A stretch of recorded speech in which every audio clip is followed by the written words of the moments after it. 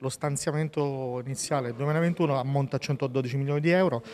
Abbiamo cercato di eh, tenere sotto diciamo, attenzione tutte le esigenze della città. È un bilancio che è nato, è iniziato a nascere diciamo, ad agosto 2020, quindi abbiamo iniziato in una fase in cui il Covid era, eh, un contagio, aveva un contagio discendente. Oggi la situazione è totalmente diversa perché c'è una ripresa purtroppo dei contagi eh, e quindi possiamo dire,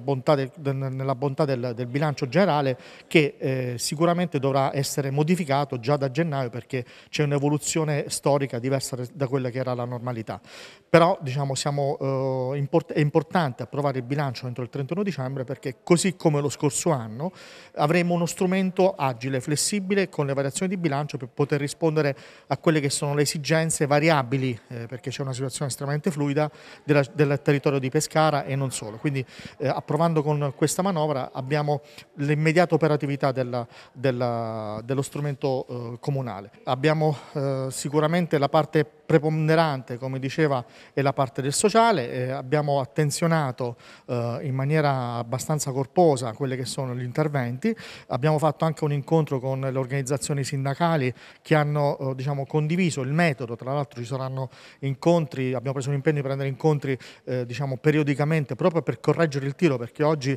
il sociale è più ampio di quello che era eh, diciamo, individuato precedentemente in quanto ci sono nuove fasce di povertà che magari